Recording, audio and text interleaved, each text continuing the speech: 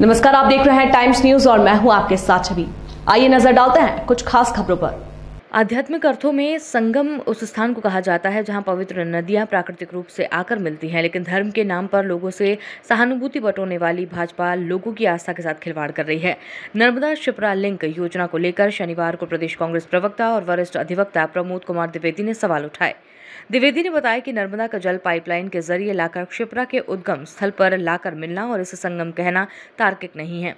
बीते कई सालों से क्षिप्रा में गंदे नाले मिल रहे हैं। बावजूद इसके, प्रदेश के मुखिया स्नान करके क्या साबित करना चाहते हैं, ये समझ से परे है। नर्मदा क्षिप्रा लिंक योजना।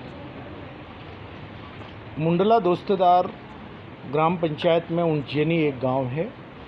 उज्जैनी में ऊपर पहाड़ पर मंदिर है और बताया जाता है कि वहाँ से माँ छिपरा का उद्गम हुआ। नहर प्राकृतिक रूप से बनी हुई है। वहाँ पर करोड़ों 700 करोड़ रुपए की योजना के आधार से नर्मदा छिपरा लिंक योजना प्रारंभ की गई। नाम दिया गया कि यहाँ नर्मदा और छिपरा का संगम है और लोग स्नान करते हैं एक तीर्थ स्थल के रूप में। वास्तव में छिपरा नदी वहाँ विलुप्त हो चुकी हैं अपने उद्गम स्थल से और सात किलोमीटर दूर जाकर के फिर प्रकट हुई है। अर्थात उस मंदिर से किसी भी प्रकार का पानी छिपरा नदी का प्रवाहित नहीं होता है। कुंड बना हुआ है। इस कुंड में नर्मदा नदी से लाए हुए पाइप को छोड़ा जाता है। नर्मदा नदी का कुंड अलग है। तो फिर संगम कहाँ से हुआ? लोगों के धार्मिक आस्थाओं से क्यों खेल रहे हो? 700 करोड़ रुपए की ये योजना है। पूरा किया गया। अभी आप लोगों ने जो इलेक्ट्रॉल बॉन्ड घोटाला उसमें 50 करोड़ रुपए इसी कंपनी ने, जिस कंपनी को ने नर्मदा छिपरा लिंक योजना का काम किया 50 करोड़ रुपए भारतीय जनता पार्टी की सरकार को दिया। क्या आप लोगों को लगता है कि वो 700 करोड़ की योजना है? वास्तविक स्थिति आप लोगों के सामने है कि वहाँ पर अभी कुंड खाली है, कुंड में पानी नहीं है।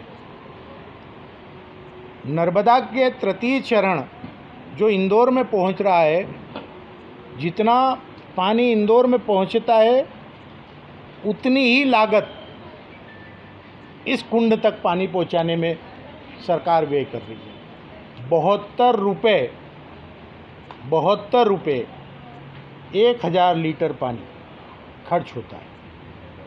कहा गया कि 305 मीटर ऊपर हमने पानी को चढ़ाया है। जबकि इस तीर्थ स्थल के तीर्थ स्थल के फ़ोटो आप देखेंगे तो 25 फुट ऊपर नर्मदा की लाइन जा रही है। वहाँ से पाइप के ज़रिए कुंड में पानी छोड़ा जाता है और फिर ये पानी गाँव में जाता है। अभी बंद कर दिया गया है। तो नर्मदा और छिपरा संगम कहाँ है? लोगों की धार्मिक आस्थाओं से आप क्यों खेल रहे हो? और पाइप के ज़रिए पानी छोड़ करके अगर नदियों का संगम किया गया तो फिर हर नदी का संगम किया जा सकता है। मैं एक टब में नर्मदा का पानी ले आता हूँ, दूसरे टब में चंबल का, तीसरे टब में ये, और सबको पाइप से जोड़ करके एक कुंड में डाल देता हूँ। हो गया सारी नदियों के पानी का संगम। धार्मिक आस्थाएँ। हमारे सनातन धर्म में महत्वपूर्ण होती है। संगम अगर देखना हो तो इलाहाबाद की त्रिवेणी नदी का संगम देखिए। संगम अगर आपको देखना है तो बड़ी कलमेर में चंबल नदी और नर्मदा नदी के संगम को देख लीजिए। वहाँ एक मंदिर बना हुआ है। दोनों तरफ़ घाट हैं, बड़ी कलमेर हाथोत तहसील का। ये प्राकृतिक रूप से संगम है। अभी 10 मई को जनापाव में भी जाएँगे, झंडा फहराया जाएगा। वहाँ पर साढ़े सात नदियाँ जनापाव में जो कुंड है, उसमें प्राकृतिक रूप से मिली हुई है। संगम ये है। तो धार्मिक आस्थाओं से खेलने का काम ये भारतीय जनता पार्टी का और उसकी सरकार का है, जो अपने आप को बड़ी सनातन धर्म की पुरोधा बता रही है।